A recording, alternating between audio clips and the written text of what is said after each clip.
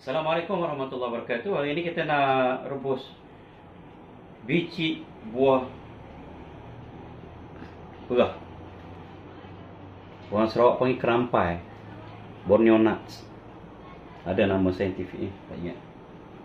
Biasanya dia uh, buahnya lebih gelap. Dia ada cengkerang ni gini. Dan dia seperti biji getah. Digugur pun seperti biji getah dengan kaedah mekanisme letupan dia meletup dan dia jatuh. Tengok isi dalam dia. Ha, seperti itu. Seperti biji getah dan sebab itu uh, buah perah ni juga dia buat asagung bagi makanan tradisional orang-orang tembeling. Rantut eh? Ha. cuma dia juga sebenarnya ada risiko mabuk. Cuma mungkin dalam satu nisbah tiga lah dengan buah getah. Buah getah lebih berisiko sebenarnya. Nak kena kena juga cara pandai rebus ni kita akan rebus tiga kali. 15 minit 15 minit.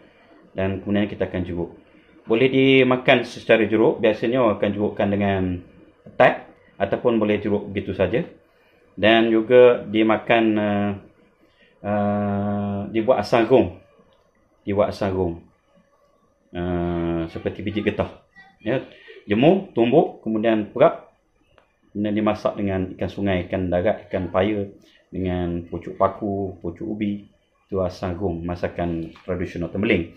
Kemudian ada juga orang buat sos. Sos untuk umpan patin. Patin. Ikan patin. Hmm. Wah, wah. Dan dia ada cengkerang dia begini. Kemudian kita akan rebus bubur garam biasalah. Eh. Harga harga biasa 6, 7, 8 pernah pernah tanya sekali itu nama juga dah dalam 12 12 ringgit. Mengikut, mungkin mengikut ada ataupun tidak ada buah lah barangkali agaknya uh, kita akan rebus insyaAllah. Dan uh, musim musim. Musim dia ni musim dia lah lebih kurang ya. Uh, musim dia selepas musim durian biasanya. 7 bulan 7 bulan 8 gitu mengikut tempat masing-masing lah. Dan dia di hutan tropika banyak di Sarawak Sabah Sarawak. Eh. kita akan rebus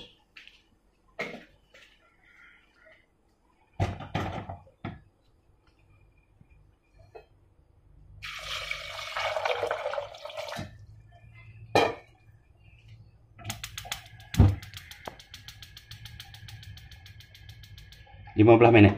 Nanti tu tengok tengok tengok ni. Jam apa tu? Hmm. lima belah minit. Insyaallah Uh, selepas tiga kali rebusan inilah hasilnya. Buah ataupun biji buah perah yang cukup matang yang boleh dimakan. Terus ya. Dalam rebusan yang terakhir itu kita masukkan garam dan gula. Supaya dia lebih lemak dan lebih lemak asin manis ada sikit-sikit. Ha, dia gini. Isi dia. Dia kena tangga dia punya serupak dia tu ataupun dia punya selaput dia tu Ha gitu. Tengah eh. Ini isi dia. Mana saya cuma.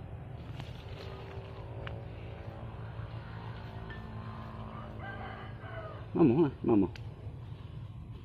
Dah. Oh, ya, ya. no, sudah. Rasa apa? Sepuluh kacang. Ya. Bismillah. Hmm macam ada macam kacang rebus tapi dia lebih dekat dengan rasa uh, biji cempedak biji cempedak yang direbus. Cuma dia lebih sedap lebih rangup dan lebih lemak. Dia ada pahit-pahit sikit. Hmm? kalau biji cempedak tu dia ada bergetah memang sedap. Dan uh, kita boleh buat jeruk. Cuma yang ini kita dah ada jeruk jeruk ni. Jeruk petai Nah, jeruk petai termasukkan saja dalam jeruk petai ni. Dan boleh dimakan dengan nasi.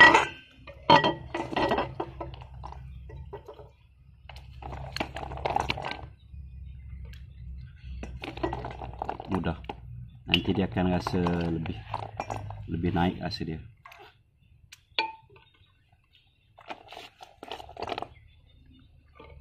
Hmm. Dia akan dalam 2-3 hari boleh makan tu. Ha ni petai.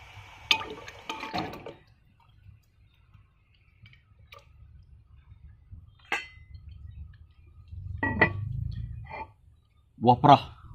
Biji buah perah.